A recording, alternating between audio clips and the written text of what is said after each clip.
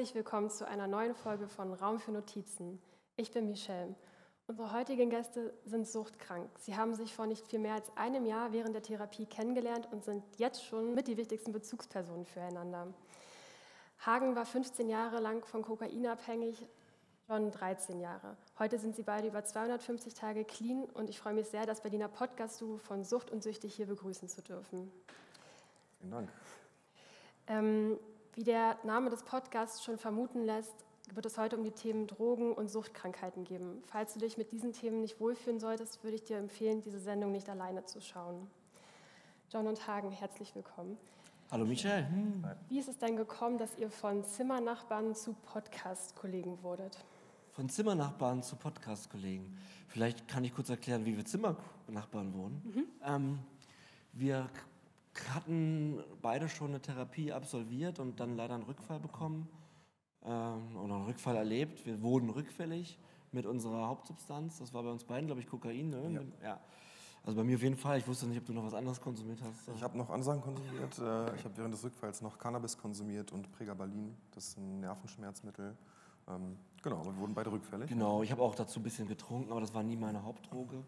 Ähm, naja, und ähm, weil ich ja eben schon so viele Jahre mit meinen Angehörigen, mit meinen Mitbewohnern dort ja, das Probleme verursacht hat und viel Vertrauen schon kaputt war, war, war das eine Situation, wo, wo diejenigen gesagt haben, wir wissen nicht jetzt, wie es mit dir weitergeht. Äh, wir hatten ja eigentlich gedacht, jetzt nach deiner Therapie, du schaffst es ein bisschen länger und es hat tatsächlich nur einen Tag gedauert bei mir. Und deswegen haben sie gesagt, du kannst jetzt auch nicht mehr hier wohnen. Mhm. Und ähm, ich habe aber gleich eine neue Therapie beantragt, nur was macht man in der Zeit? Ich war im Grunde quasi obdachlos. Und ähm, das Berliner oder das generell das deutsche Suchthilfesystem äh, ist sehr gut und es gibt Übergangseinrichtungen, die heißt tatsächlich auch so, wo man dann wohnt, clean bleibt, man wird dort betreut, man darf auch nicht alleine raus und so. Ähm, und dort wartet man dann auf seinen Therapieplatz. Äh, das ist dann so um zwei bis drei Monate kann das sein. Bei uns war es tatsächlich nur ein Monat. Fünf Wochen, ja, genau. Fünf Wochen haben wir dort auf einem Zimmer zusammen verbracht in dieser Einrichtung, die ist auch mitten in Berlin. Ja, und dort haben wir dann, äh, um deine Frage zu beantworten, das Konzept auch geschrieben. Schon nach ein paar Tagen haben wir gemerkt in unseren Gesprächen, erstmal, ne, wir kommen aus einem totalen Tiefpunkt, haben wir sehr viel geweint dort.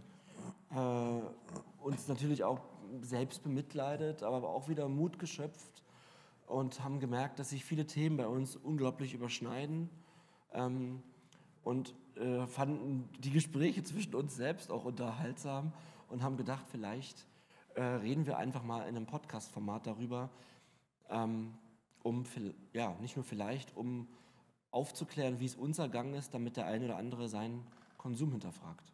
Es war auch wirklich wie so ein Geschenk des Himmels. Also ich saß da unten und habe gewartet äh, auf meinen Platz und dann kam Hagen in übrigens exakt demselben Sakko. Wahrscheinlich hat das nicht die ganze Zeit an seitdem. Nicht immer. Aber ähm, um die Ecke äh, und wir haben sofort irgendwie angefangen zu quatschen und haben uns gut verstanden äh, und kamen dann halt zufällig auch aufs gleiche Zimmer und äh, hatten, ich glaube, äh, auch ohne einander wäre die Zeit dort nicht so cool gewesen, ja. wie sie im Endeffekt war. Es war schon gut, dass wir uns gefunden haben. Ja. Für das Projekt, aber auch fürs Leben. Auf jeden Fall. Aber das ist schön. Ich glaube, wenn man so lange aufeinander hängt, dann kann man ja nicht anders als einen Podcast zusammen machen. Ähm, genau, bevor wir gleich nochmal richtig ins Gespräch einsteigen, würde ich euch gerne noch ein Getränk anbieten. Was kann ich euch dann bringen? Stilles Wasser wäre. Gerne Wasser. Wir sind große Liebhaber von Wasser mittlerweile. Ja, das ist sehr, sehr gut. Ähm, während ich euch hier die Getränke einschenke, können wir ja mal über eure Notiz reden, die ihr mitgebracht habt. Das ist eine Tradition bei Raum für Notizen, dass die ja. Gäste und Gästinnen immer selbst ihre Notiz mitbringen. Bei euch ist es ähm, die Aussage, fick dich Sucht. Ähm, genau. Vielleicht, ähm, John, möchtest du ja mal darauf eingehen, was diese Aussage für euch bedeutet und warum ihr sie heute mitgebracht habt. Ja, sehr gern. Ähm, also äh, unser Umgang mit Sucht ist einfach aufgrund unserer Historie klar, dass wir natürlich äh, total, ja, wir, wir, verbinden natürlich super viel Leid mit Abhängigkeit, mit Sucht, ganz viel schlimme, schlechte Zeiten. Äh, so viel Positives bleibt da gar nicht mehr, an das ich mich da erinnern kann.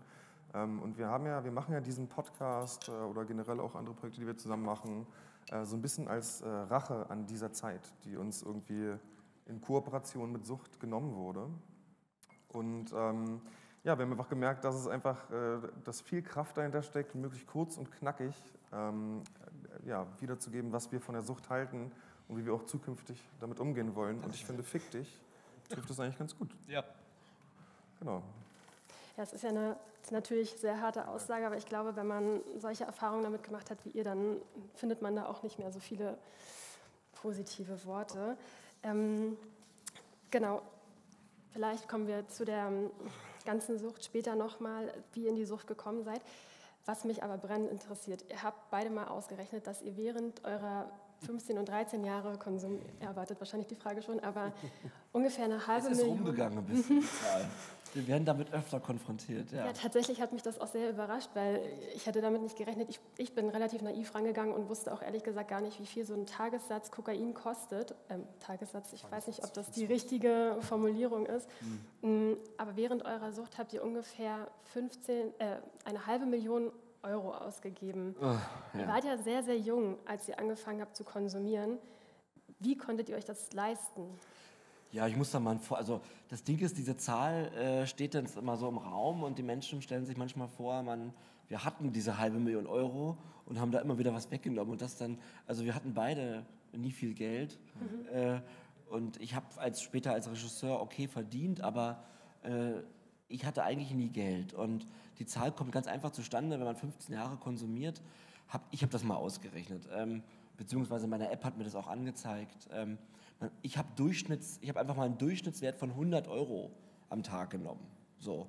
Ähm, es gibt natürlich Tage, auch in den 15 Jahren, wo man nicht konsumiert hat. Gerade in den ersten Jahren war das ja noch nicht täglich, sondern nur am Wochenende.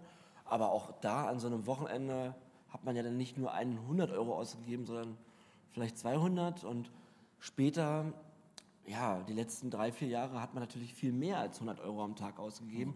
Also es ist einfach eine überschlagene Zahl. Lass es 400.000 sein, vielleicht sind es auch 300.000, vielleicht waren es aber auch 700.000. Also schwer auszurechnen. Aber ich fand den Satz, man sagt, rechnet mal 100 Euro am Tag durch die Zeit, das, das, das, ich wollte einfach mal in diesem Moment eine Größenordnung erfahren. So. Ähm, und ja, das beantwortet deine Frage. Ich meine, äh, so ein 50er, der- den hat natürlich auch nicht jeder zu jeder Zeit, aber den hat man schon mal öfter, ähm, wenn man am Wochenende ausgibt, äh, ausgeht. Und dann war der halt weg. Und dann hat man aber meistens ja noch mehr besorgt. Genau. Und Also so ist das zustande gekommen, die Zahl. Ja, ich habe das auch, äh, auch kurz bevor wir diese Show da hatten und es gesagt haben, habe ich es auch mal so durchgerechnet. Äh, bei mir kommen ja noch andere Substanzen dazu und auch nochmal, ich habe ja seit meinem 14. Lebensjahr äh, konsumiert, ähm, nicht Kokain, aber viel Cannabis äh, und da kommt dann auch so ein bisschen was zusammen und dann habe ich ja jede Menge harter Drogen konsumiert. Das heißt, es ist auch nicht nur das Kokain dann und es ist auch so, dass man wenn man dann wirklich es so nötig hat, an dieses Geld zu kommen, dann findet man da oft auch, oder finde ich auch oft äh, Mittel und Wege. Also jetzt gar nicht unbedingt was schwer Kriminelles, äh, aber ähm, weiß ich nicht, irgendwelchen Bekannten zu sagen, man hat halt bei irgendwelchen kriminellen Leuten ein paar tausend Euro Schulden, sonst passiert sonst was, wenn man die jetzt nicht zurückzahlt. Äh, dann bekommt man schnell irgendwie Geld und äh, Kredite wurden aufgenommen. Ich habe viele Sachen verkauft, äh, ich habe teilweise auch Dinge geklaut, jetzt nicht irgendwie im großen Stil irgendwie oder keine Einbrüche. Ähm, aber irgendwie klappt es halt immer an Geld zu kommen. Und dann so diesen Satz von ungefähr 100 Euro am Tag, ähm, auch gerade wenn es noch mehrere Substanzen sind, äh, der ist relativ schnell erreicht. Genau, also ich habe ja auch dann schon nach drei, vier Jahren angefangen, stellenweise, wenn ich eben kein Geld hatte, Sachen zu verkaufen.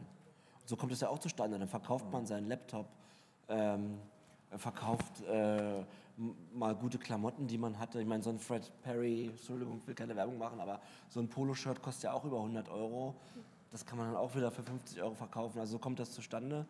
Und weil man sich auch viel Geld borgt, bei allen möglichen Menschen, über Lügengeschichten. Und ähm, um von denen Geld zu bekommen, bietet man denen halt auch gerne an, dass man Gel mehr Geld ihnen zurückgibt, ja, wenn ich es schnell brauche. Ja, und so kommen einfach diese Zahlen zustande. So. Aber ähm, ich hatte nie viel Geld. Hm. Also bei mir war es auch so, ich hatte auch zum Beispiel jahrelang zu Geburtstag und Weihnachten und allen Festen nie auch irgendwelche Geschenke bekommen, sondern immer nur Schulden abbezahlen irgendwo. Also viele, viele Jahre lang. So, das sind auch nur kleine Dinge, aber alles Geld, was irgendwie das Leben hergab, ging halt in Drogenkonsum oder in Schulden abbezahlen. Und das summiert sich dann doch relativ schnell. Ihr habt ja gerade schon gesagt, dass dann Lügen auch dazu gehört hat, äh, Freunde anlügen, Mitbewohner anlügen, wie auch immer. Ähm, Hagen, äh, John, Entschuldigung, du hast mal im Podcast gesagt, dass Lügen eines der Hauptsymptome oder Hauptnebenwirkungen der Sucht ist. Und mir ist das total im Hinterkopf geblieben, weil ich glaube, wenn man gar nicht so viel Bezugspunkte hat zu, ähm, zu einer Sucht, dann steht das, also da denkt man gar nicht daran. Vielleicht kannst du davon noch mal ein genaueres Bild zeichnen, was mhm. sozusagen das Lügen in eurem Alltag bedeutet hat. Also gerade durch den Konsum von illegalen Substanzen natürlich im Alltag, da ist äh, Genau, ist die Lüge tatsächlich, würde ich immer sagen, das Hauptsymptom. Alles baut sich irgendwie um die Lüge auf. So, das, was ich ja jeden Tag für mich vorhabe, ist, äh, mein Konsummittel zu beschaffen und es zu konsumieren. Aber es darf ja im Prinzip keiner wissen. So, außer natürlich meine Konsumfreunde, die sind dann auch nach ein paar Jahren sowieso die meisten weg. Ähm, aber es ist, man baut sich halt dieses riesige Lügenkonstrukt auf mit allen Bekannten. Also meine Familie erzähle ich dieses und jenes, meinen Freunden erzähle ich was ganz anderes, damit das schon mal nicht clasht. Und äh, selbst der Dealer wird angelogen, irgendwie nach dem Motto, ja, ich habe gleich einen wichtigen Termin, bist du jetzt innerhalb von zehn Minuten da, weil danach kann ich nicht mehr. Einfach nur, wenn man sich so daran gewöhnt, zu lügen äh, und, und das einfach ja, wie, so eine, wie so eine Fähigkeit zu nutzen, um überall sich durchzuwuseln. Und es ist wirklich auch so, dass, was ich ganz stark gemerkt habe, dass in der Abstinenz dann ähm, ganz belastend dieses Schamgefühl ist, weil ihm dann all das bewusst wird, was man über diese vielen, vielen Jahre lang gelogen hat. Ähm, und plötzlich merkt man auch, wie schmerzhaft es ist oder für die anderen Leute sein muss, so viel belogen zu werden. Weil mir glaubt halt keiner mehr. Mir glaubt auch jetzt in meinem Leben, stand jetzt quasi kaum jemand von meinen Bekannten, weil die alle erst mal sehen wollen, naja, du hast uns so viele Jahre lang belogen. Ähm, sind alle sehr unsicher. Ja, erzähl erst mal eine Weile die Wahrheit. Also das ist für mich auch ein ganz, ganz schwieriges Laster. Das war auch eine sehr emotionale Folge. Hm. Lügen, da das quasi neben dem eigentlichen Konsumieren und der Sucht, die da entsteht und dieses ganze, die Thematik rund um die Substanz, die einen unfassbar krass äh, belastet, ist das Lügen quasi etwas, was man ja dazu auch noch täglich gemacht hat, wie John gesagt hat. Also ich lüge ja äh, darüber, was ich gestern gemacht habe, was ich heute mache, was ich morgen mache. Und zwar mit allen Menschen. Mhm. Ja, weil ich will ja heute, ich will ja wieder konsumieren. Ich muss wieder das Geld beschaffen. Das ist alles nur eingebettet in Lügen. Und dadurch macht man ähm, und man lügt ja auch seine liebsten Menschen an, wenn die dann auch noch nach ein paar Jahren noch da sind. Und ähm, das macht es für die Angehörigen sehr schwierig. Also das war bestimmt die Hölle, mit mir zusammenzuleben die letzten Jahre, bevor ich in die Entgiftung gegangen bin, weil ich eigentlich überhaupt nicht mehr die Wahrheit gesagt habe. Nicht, nicht mal mehr hast du jetzt Hunger. Natürlich hatte ich keinen Hunger. Ich habe ja die ganze Zeit Kokain konsumiert, da hat man keinen Hunger. Und wie hast du geschlafen? Naja, gar nicht. Aber na klar, ich habe okay geschlafen, aber ich habe Kopfschmerzen, ich bin ein bisschen krank. Also man lügt in jeder verdammten Einzelheit. Und das, das Ding ist, man weiß das ja selber auch. Man fühlt sich auch selber schlecht. Man will da wieder rauskommen, aber in dieser aktiven Sucht ist immer auch dann nur wieder erneuter Konsum die Lösung. Ich habe mir immer eingeredet, äh, mit dem nächsten Gramm, mit der nächsten Kapsel kann ich alle meine Probleme lösen. Das war so meine eigene Hauptlüge. Das ist natürlich die Krankheit, dass ich mir das selber einrede, aber auch schon dann irgendwann eine psychische Abhängigkeit. Und man belügt ja selbst ohne Ende, wie du gerade sagst. Ja. Ne? Also dieses, diese Selbstlüge ist auch total extrem. Ich würde sagen, der ganze Schutzmantel, unter dem eine Abhängigkeit überhaupt möglich ist, ist die Lüge. Ähm, bevor ihr in diese, ich würde es mal Spirale nennen, aus Konsum, Beschaffung, Lügen. Das ist eine Spirale, ja. Ähm, geraten seid, ähm, lag der Fokus in eurem Leben ja sicherlich auf anderen Dingen. Vielleicht könnt ihr mal davon erzählen, wie ihr überhaupt in die Sucht gekommen seid und ähm, ja, wie das abgelaufen ist. Ob es da einen ausschlaggebenden Punkt bei euch gab oder ob es das so eingeschlichen hat. Mhm. Falls es das kann. Also. Also bei mir jetzt, ähm, also meine erste Abhängigkeit, die ja Cannabis ist, wo ich ungefähr mit 14 reingeraten bin, das, ähm, wenn ich im Nachhinein drauf gucke, dann wird es daran gelegen haben, dass ich mir immer sehr viel Druck gemacht habe selbst. Also ich habe eine große Familie, da sind viele Leute erfolgreich und ich hatte immer einfach, hatte immer das Gefühl, ich müsste das auch irgendwann werden. Und genau so müsste mein Leben laufen, wie bei meinen Bekannten. Ähm, und habe dann aber äh, halt Cannabis kennengelernt und ganz schnell gemerkt, ah, okay, jetzt bin ich plötzlich total entspannt. So jetzt kann ich irgendwie mein Leben leben und mache mir nicht mehr diese Sorgen, dass, ähm, dass Leute von außen rauf gucken und es bewerten und es mich dann auch noch tangiert. So, also, sobald ich angefangen habe, Cannabis zu konsumieren, war ich halt in meiner Welt äh, und konnte mein Ding machen. Und es hat ja auch so ein bisschen so einen rebellischen Faktor, irgendwie Drogen zu konsumieren. Und alles war plötzlich mehr so gefühlt unter meiner Regie, während es eigentlich immer mehr unter die Regie des Cannabis kam. So, und da, ähm, da habe ich dann sehr schnell angefangen, täglich zu konsumieren und bin dann da einfach zwangsweise sozusagen in eine psychische Abhängigkeit gerutscht. Äh, bei Kokain war es ganz anders. Da hatte ich äh, ja, quasi ein traumatisches Erlebnis, was ich auch im Podcast ein bisschen schildere, ähm, wo ich dann ja, begann, mich selbst, also quasi als Selbstmedikation Kokain zu nehmen, was natürlich wahnsinnig äh, betäubend wirkt, ähm, super euphorisch. Ähm, das hat mir halt sehr geholfen, nicht äh, unter, diesem, ja, unter diesem Trauma zu zerbrechen und irgendwie am Leben zu bleiben. So, und irgendwann konnte ich das dann zwar verarbeiten, was passiert ist, aber diese nackte Sucht zum Kokain, was ja mein treuer Wegbegleiter war, die blieb halt. Ja, emotionales Thema. Also ich habe letztens eine, eine Videoaufnahme gesehen, vor, ein paar Monate vor meinem Erstkonsum. Ich habe mit 25 begonnen ähm, und ich würde, würde am liebsten mich selber warnen. Ja? Ich würde am liebsten in die Zeit zurückreisen und, und und mir selber sagen, dass äh, ja, du das Zeug niemals berühren darfst. Denn in meinem Fall ist es so, es gibt halt bestimmte Menschen oder, also zum einen kann man eine Suchtveranlagung haben, es gibt es auch genetisch, ne, wenn die Eltern viel getrunken haben oder die Großeltern. Es gibt, ach, es gibt einfach ganz viele Gründe, die, die einen anfälliger machen für die Suchterkrankung. Da kommt es dann auch wieder auf die Substanz an und so. Ähm, und gerade Kokain war bei mir halt genau die Substanz, die ich hätte niemals in meinem Leben berühren dürfen. Und ähm, weil du gefragt hast, wie uns das vorher ging, ich, ich war zu der Zeit äh, ein aufstrebender Regisseur. Ich habe angefangen, Musikvideos zu drehen zu der Zeit. Ähm, und ähm, eigentlich war soweit alles in Ordnung, aber ich habe damals auch schon gespürt, dass ich irgendeinen tiefen Schmerz in mir trage. Jetzt aufgrund der monatelangen stationären Therapie konnte ich das ergründen also ich habe einen, Mangel an ja, äh, Selbstliebe. Also ich halte mich für ein, jetzt nicht mehr so stark, ich habe ja daran gearbeitet, aber ich, äh, ich denke eigentlich, dass ich Dinge nicht kann. Ich halte mich für einen Versager, für einen Loser.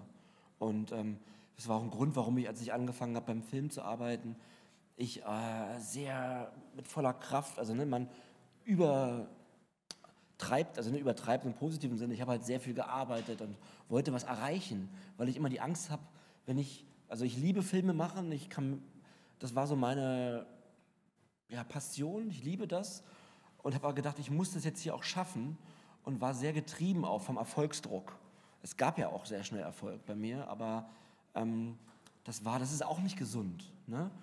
Und ich habe dann die Droge, leider wurde sie mir angeboten in der Bar äh, mit 25 Jahren und das hat halt so, selbst dieser Moment, der Erstkonsum, ähm, hat mich halt das erste Mal fühlen lassen, habe ich halt diesen inneren Schmerz, der mir damals nicht bewusst war, aber irgendwie, den ich trotzdem natürlich in mir trug, der wurde dann behoben und ich fühlte mich zum ersten Mal jemand, äh, zum ersten Mal wie ein vollwertiger Mensch und das ist halt eine Gefahr, weil das kann bei jedem passieren mit unterschiedlichen Substanzen.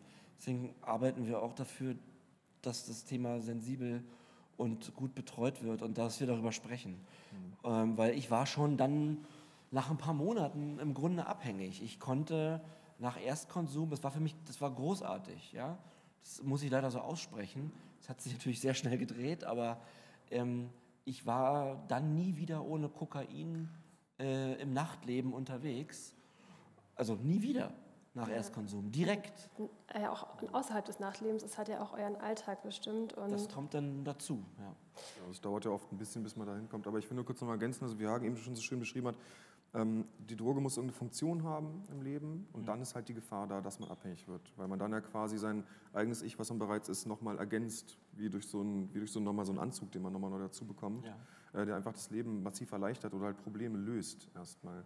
Natürlich nicht dauerhaft. Gefühlt erstmal. Gefühlt passiert es erstmal, diese Funktion ist da und wird bedient äh, und da ist dann die Gefahr der Abhängigkeit ähm, sehr, sehr groß. John, wir können auch gleich bei dir bleiben. Ich habe gelesen oder gehört, dass du schon mehrere Versuche hattest, von der Droge loszukommen in verschiedensten Einrichtungen, verschiedenste Therapieformen. Ähm, ist es richtig, dass es eine Zahl über 20 sind?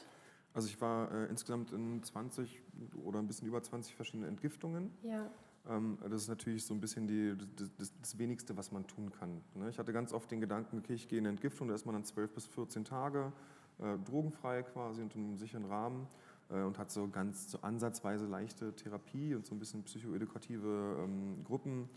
Äh, aber eigentlich ist die Entgiftung nur dazu da, dass man dann danach eine Therapie weitergeht. So, und ich habe halt oft eine Entgiftung benutzt, um danach zu denken, okay, jetzt schaffe ich es auch alleine. Ich glaube, bei ganz vielen Leuten so, ähm, die wenigsten Leute machen leider direkt eine äh, Therapie im Anschluss an eine Entgiftung, aber eigentlich, das, eigentlich müsste man es tun. Diese Entgiftung habe ich halt sehr, sehr viele gemacht, habe auch ähm, ein paar Therapien angefangen äh, oder auch äh, Therapien gemacht, die nur einen Monat gingen, aber dafür dann jeden Tag Einzeltherapie und so. Ähm, aber alles nicht so, ja, nicht nur so halbherzig irgendwie. Ich wollte was dazu sagen, denn ähm, habe ich dich unterbrochen? Das ist, Alles so, gut. das ist so ein USP von mir, das wollte, das wollte ich nicht. Äh, Alles gut, einmal Power-Auftritt. Ähm, Power-Auftritt. Ein ganz wichtiger Punkt, wir reden jetzt so okay darüber und machen das ja sehr gerne, aber ein ganz wichtiger Punkt ist die Krankheitseinsicht. Ja, wir haben die jetzt. Das wollte ich euch tatsächlich ja. noch fragen. Was, mich würde nämlich interessieren, wie ist es denn für euch jetzt im Podcast darüber öffentlich zu reden? Ist es für euch also natürlich leistet ihr damit eine unglaubliche Aufklärungsarbeit, aber ist es für euch persönlich auch, ähm, hat es positive Effekte und ist es vielleicht für euch auch ein bisschen persönliche Überwachung durch den Podcast, dass ihr nicht rückfällig werdet? Total. Ja, spielt total mit. Ja. ja. ja also der Hauptgrund ist erstmal Fick dich Sucht. Ja. So, und äh, also einfach uns endlich mal rächen für all die Scheiße, die wir durchgemacht haben, weil es war wirklich viel. Wir haben beide sehr viel verloren in unserem Leben ähm, was uns auch total verbindet. Also auch darüber haben wir uns übrigens zu der Eingangsfrage, er hat uns sehr verbunden, was wir alles verloren haben einfach. Mhm. Ähm, aber klar, dieser Podcast ist für uns eine, eine Riesensache. Es ist, äh, in der letzten Folge auch schon mal gesagt, das ist so ein bisschen meine kleine Therapiebox, in die ich mich da einmal die Woche begebe mit Hagen. Ähm, und wir kriegen ja auch wahnsinnig viel Feedback äh, und total viele Nachrichten. Also es ist wie so eine, es ist eine, es ist eine große Community mittlerweile und es ist ein, wie eine ganz, ganz große Selbsthilfegruppe. Ähm, und es hilft total einfach, diese, allein darüber sprechen hilft ja schon. Das weiß man ja generell bei Problemen. Einfach reden, es rauslassen, nicht in sich reinfressen. Und genau das tun wir da äh, und merken, dass es auch noch anderen Leuten hilft. Und es hat, es hat nur Positives äh, auf allen Ebenen. Genau, um nochmal die Notiz auch zu erklären und was die Rache, weil, weil wie ist die Rache praktisch, ja? Indem wir darüber reden, äh, erschaffen wir äh, eine Öffentlichkeit und füllen irgendwie ein Vakuum, denn viele Menschen trauen sich nicht, bei einer Drogenberatungsstelle anzurufen oder hinzugehen. Habe ich ja auch tausend Jahre nicht getan. Ähm, weil das ist sehr schwer, da sind wir wieder beim Punkt Krankheitseinsicht. Ich war 15 Jahre abhängig, aber meine Krankheitseinsicht habe ich eigentlich erst so richtig ähm, in diesem Mai bekommen, also nach meinem zweiten Rückfall. Ich hatte die schon so ein bisschen in der Entgiftung, weil ich gemerkt habe, da sitzen andere Leute, die andere Substanzen konsumieren, denen es so geht wie mir. Da war mir klar, okay, es gibt diese Krankheit, weil man denkt immer, man ist alleine. Man fühlt sich furchtbar, man ist in einem riesen Loch aus Selbstmitleid und Scham und kann sich nicht erklären, warum geht's, warum bin ich so? Warum kann ich nicht aufhören zu lügen, nicht zu konsumieren? Warum gehe ich nicht äh, mit meiner Freundin ins Kino? Warum sage ich, ich bin krank und bleibe allein zu Hause und, und, und, und, wie du letztens gesagt hast, und schraube mir das Zeug rein? Ähm, aber dann zu lernen, es gibt eine Krankheit äh, und die kann man behandeln lassen. Und deswegen machen wir das äh, dass wir den Leuten das, das, Gefühl vermitteln können, wenn du dich vielleicht so fühlst wie ich vor noch zwei, drei Jahren oder auch schon vor zehn Jahren, guck mal, du bist nicht alleine damit. Du kannst, wir haben das auch, viele andere Menschen auch.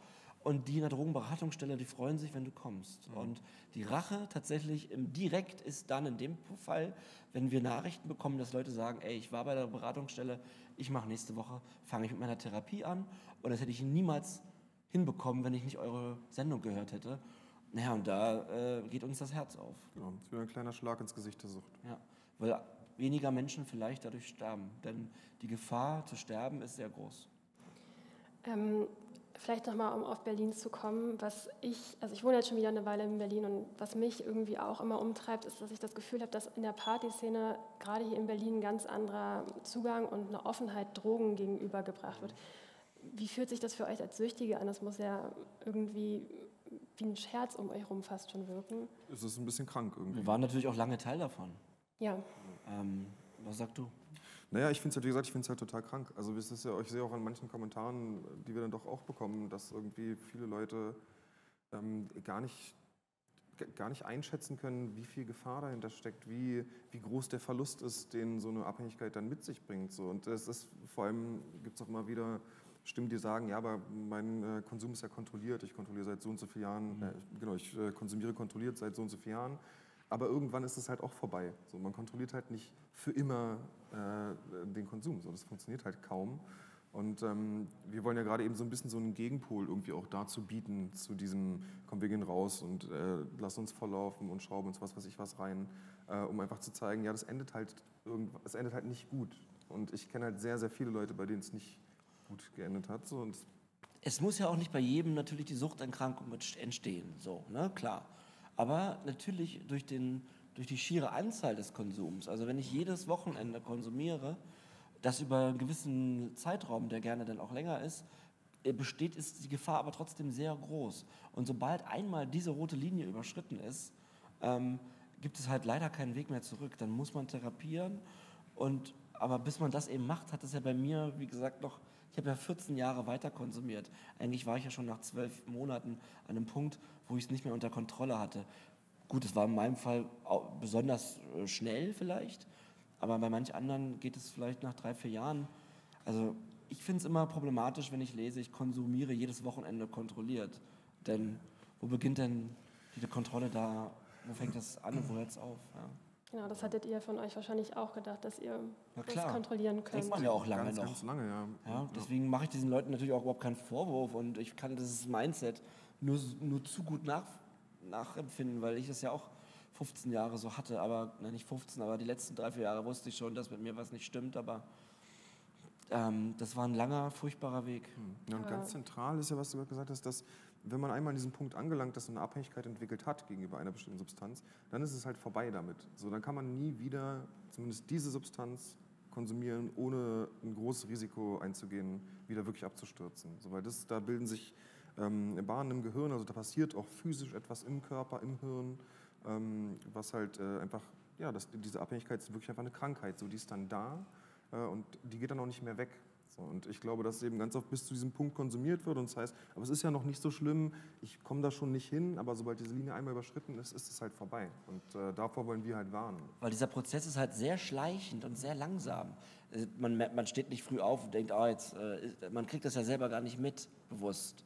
Erst wenn man sich wirklich damit auseinandersetzt und vielleicht mal bei einer Drogenberatungsstelle anruft oder mit denen dort spricht, äh, dann, dann spiegeln die einem ganz gut, wo man vielleicht gerade steht bei seinem Konsum. Alles klar. Ähm, wir haben ja auch in unserer Community nach Fragen gefragt, die oh ja. Sie euch stellen wollen. Und da können wir ja gleich nochmal zu einer kommen. Und, Gespannt. Na? Und zwar kam da einmal die Frage, ihr postet immer mal wieder, also auf Instagram bezogen, äh, Bilder von einem Counter, der anzeigt, wie lange ihr schon clean seid. Warum macht ihr das? Ähm, warum machen wir das? Also das ist, äh, ich habe damit angefangen und wir machen das jetzt ja auch im Team bei Sucht und Süchtig. Das ist, äh, das ist eigentlich sowas wie, hallo, ich habe hier den ersten Preis beim Fahrradrennen des, der Oberstufe gewonnen. Ich habe es geschafft. Also wir machen das in Zehner-Schritten und ähm, zu sehen, dass man ist 250 Tage clean, das gibt einem extrem viel Kraft. Wir gucken ja auch auf diese Apps äh, eigentlich jeden Abend vorm Einschlafen, gucke ich darauf und freue mich über diese Tage. Denn das ist eine richtig, das ist eine Bestätigung meiner eigenen Leistung und gibt mir einfach Kraft. Und jeder, Tag, jeder Tag ist halt auch ein Kampf. Ich glaube, man ja. übersieht vielleicht manchmal, dass wirklich jeder Tag ein Kampf ist, auch immer noch. Und es wird es auch erstmal noch ganz schön lange bleiben. Also jetzt nicht so, dass wir völlig stabil durchs Leben gehen und alles ist super, äh, sondern jeder Tag, der, ja, den man es geschafft hat, gegen diesen Dämon im Kopf zu kämpfen, ist einfach ein Sieg. So. Den feiern, den, feiern, wir halt auch. Dann. Der Counter ist wirklich wichtig für uns. Ja. Ja, ich glaube, ihr seid auch wichtig für viele Leute, die den Podcast hören. Ähm, bevor wir aus der Sendung gehen, machen wir jetzt aber noch ein Polaroid zusammen. Äh, das machen wir mit allen Gästen und ähm, genau, können wir uns mal schön hinsetzen. Okay.